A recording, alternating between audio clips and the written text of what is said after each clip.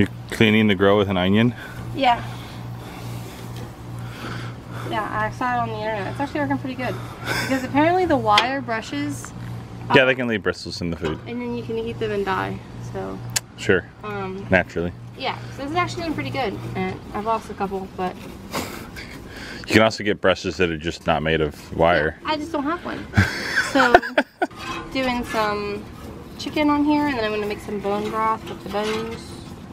Nice. Could we relocate the grill a little bit so I can pull my boat up? Yeah, that sounds like a good job for you. Sure. Just kidding. I'll help you. Don't put that in the vlog.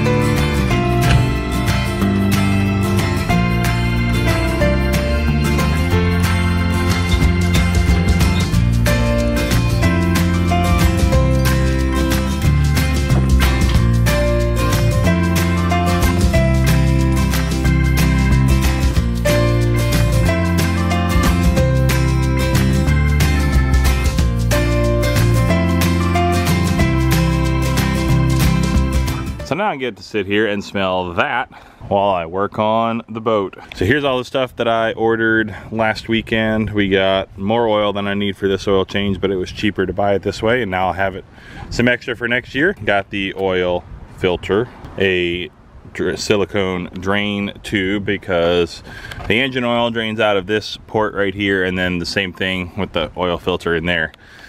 And then I've also got this little guy, which is an hour meter. I don't think I have very many hours on this, but the only way to check it would be to take it into like Bass Pro or somewhere, you know, where I bought the boat and have them hook up a diagnostic tool to it to check.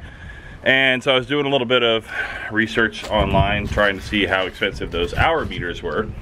And they're really cheap. There's actually one built in on my riding mower right here. You can see it's been run for 56 hours. And I've had that mower for gosh I think we got it in 2016 or 2017 and only ran it for 56 hours. So I want to hook up this little hour meter on my boat uh, engine my Mercury Pro XS 115 horsepower uh, so that way I can tell how many hours I run it every year. Because I want to know how, you know, how many hours I'm putting on it. Obviously don't know without, again, hooking up diagnostic tool, which I don't have to it, uh, how many hours I put on it for the last three years.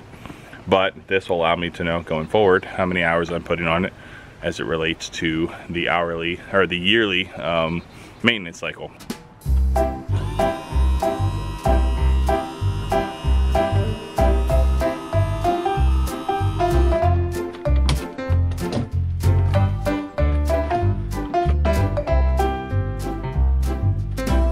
Engine is still nice and clean. Again, it's only only three years old, so it looks awesome still. Um, and of course the cover stays on it, so keeps all the bulk of the dust and, and junk out of it. And it's also really cool, like this part is shown in the manual as well, but it's kind of nice that it shows uh, what you need to do on a 100 year or yearly cycle or every 300 years of use.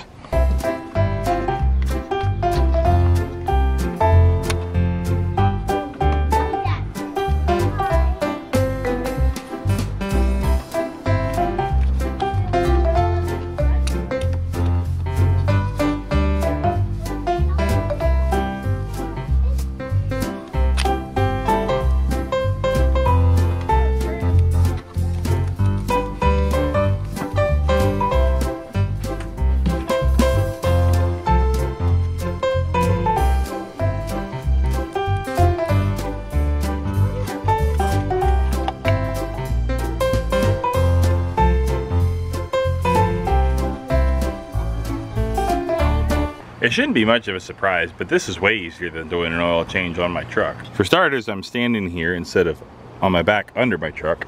But the design of this whole area is way better than on my truck. Like this, if oil were to actually come out of here, which it's, you know, slowly dripping a little bit, but if it were to actually cool, you know, pour out of here, it lands in this tray, goes down the drain hose and into a container that I have that I didn't end up needing. So you keep from getting oil anywhere in the engine as you're, you know, pulling it out.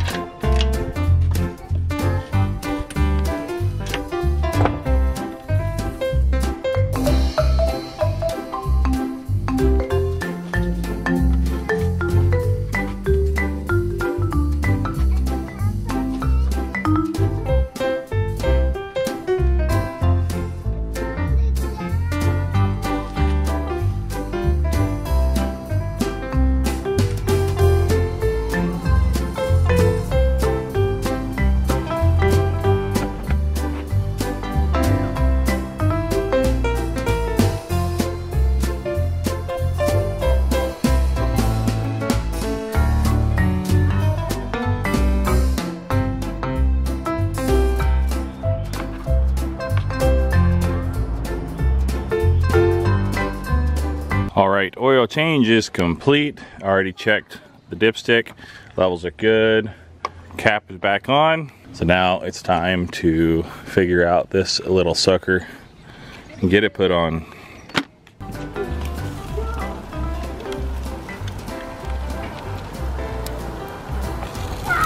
Pretty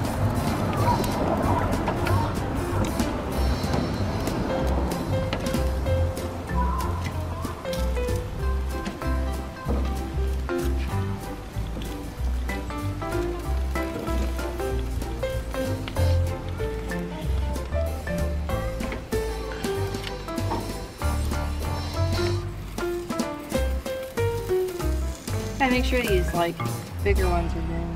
Mm-hmm.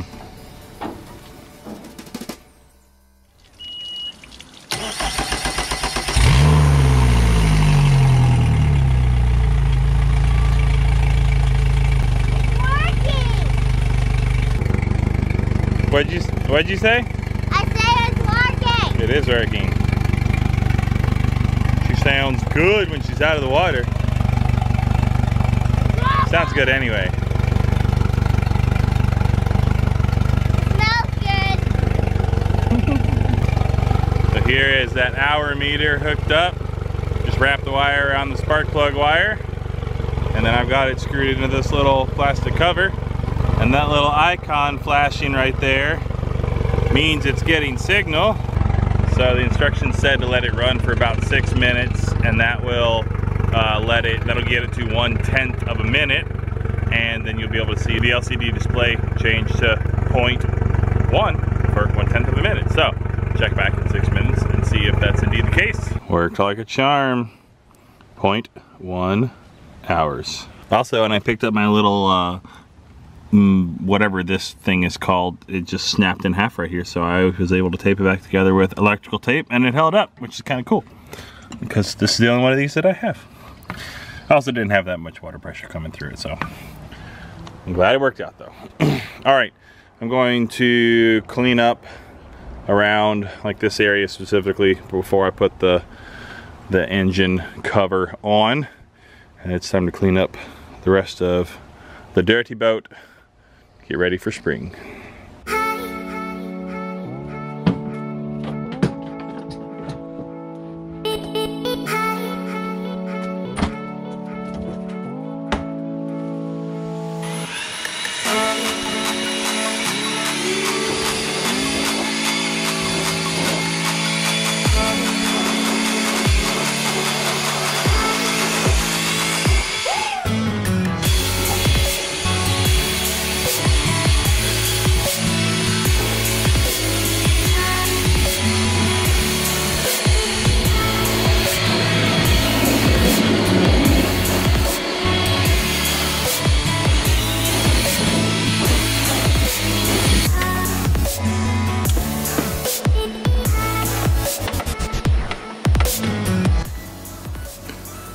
She's all nice and sparkly clean now.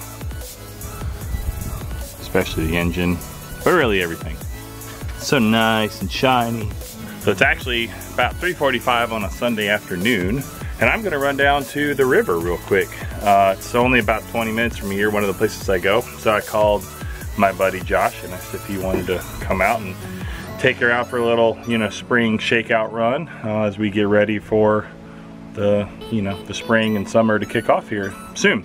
So we're gonna go do that. Uh, I'll have my GoPro with me and if we catch anything or if anything interesting happens, that's what you'll see immediately following this. And if not, I'll be seeing you guys back here to put the boat away and wrap this thing up. Yeah, kinda. No, that I just like threw. I was like, I'm gonna make sure that you know, I don't know, drag is set, things are good, and then I was definitely just digging this thing in the mud, and then I was like, okay, some this feels different now. Some teams feel It feels like it broke loose from the mud, but got heavier. good, bud. So yes, let's go back. I was like, I don't know what's, you know, I don't know what's over here. I was trying to like, watch the depth finders. but I couldn't. Apparently, when you just reel down hard on a crankbait to get it out of the mud and catch it up to the boat, you sometimes hook fish. I wasn't even sure I had a fish till I. I thought you were like, oh, and then was There was no, there was no distinct transition. It was like yeah. it felt like it was all of a sudden did start moving laterally a little bit, but he wasn't really head shaking until I got him up and.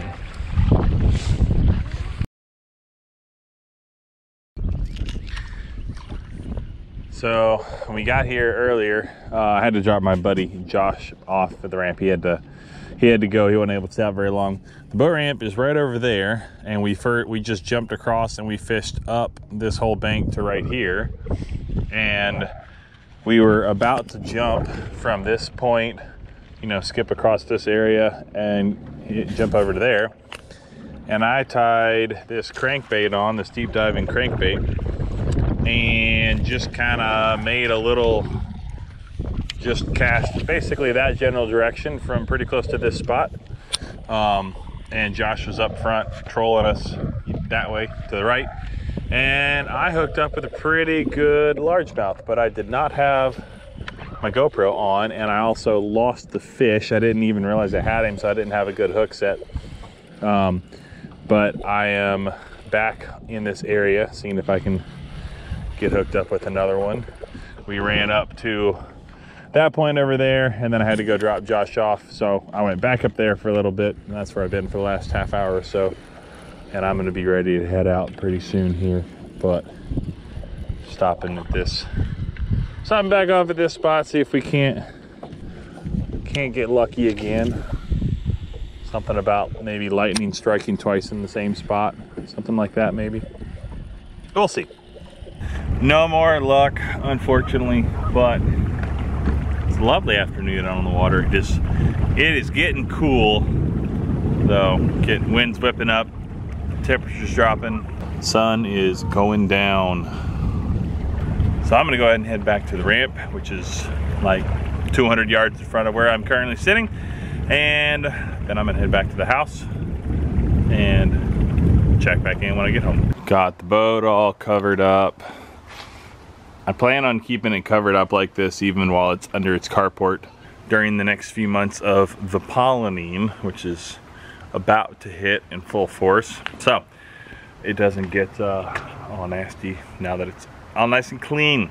So that will go ahead and wrap this video up. Didn't get any fish in the boat, but I got one all the way up to the boat before it came off the hook. And everything ran fine, which is awesome. So we'll be all set for hopefully a spring and summer and fall full of fishing ahead. Didn't get to do much fishing last year because I broke my trolling motor and so it was down for several months until I got that fixed. So I'm looking forward to fishing a lot more this year hopefully. So anyway, that's all for today. Thank you guys so much as always for watching. Um, feel free to drop a comment, like, subscribe, all that good stuff if you want to. And I will see you guys on the next one.